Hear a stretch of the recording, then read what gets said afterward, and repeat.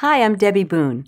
I hope you'll join me on Saturday, December 2nd at the Investors Bank Performing Arts Center for my concert, Music and Memories, in support of South Jersey's Scholarship Fund for Catholic Education.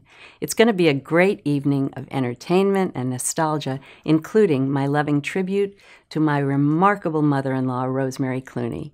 So come and kick off your holiday season with me on December 2nd.